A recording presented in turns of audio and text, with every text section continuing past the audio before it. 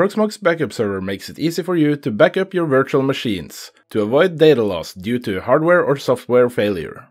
After you have created the installation media and booted to it, you can start installation by pressing enter on Install Proxmox Backup Server.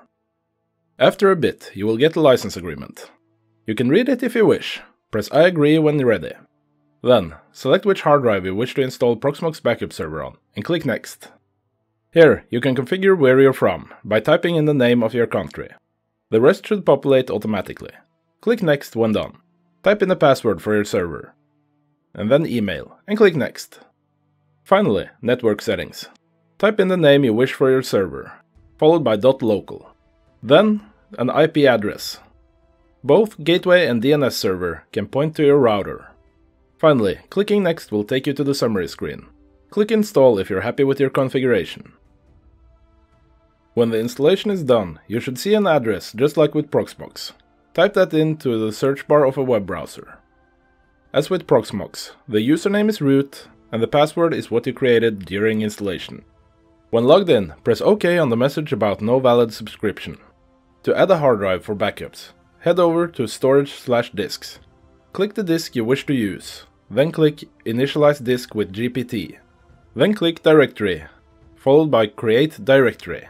In the pop-up window, select the disk you wish to use, then the file system. This can be ext4. Then give it a name. Then, when you're happy with your configuration, click Create. When you're done, you can head over to Dashboard and click Show Fingerprint. Click the copy button and head over to your Proxmox server. Here you can navigate to Data Center, followed by Storage, then click Add. In the drop-down menu, click Proxmox Backup Server. There's a few parameters to fill out here. Start with ID. This is the name of your Proxmox backup server. Next is server. Type in the IP address of your Proxmox backup server. Then username. Type in root at PAM. And the password is the one for Proxmox backup server.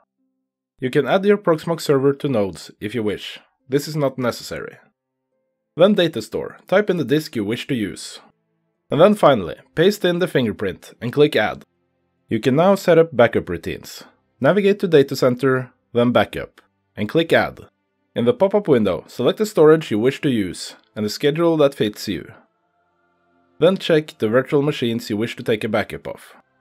And if you don't wish your storage to run full, you can click Retention and select how many backups you wish to keep.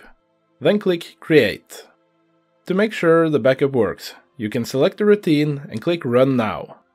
This can take a while, depending on the size of your virtual machines and your hardware.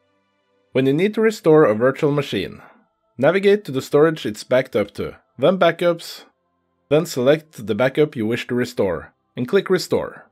Here you will get the option to change out a few parameters if you wish. Click Restore if you're happy with the setup. When the virtual machine has been restored, it's ready to be used and you can start it up. Hope this was of some use. Thanks for watching, goodbye.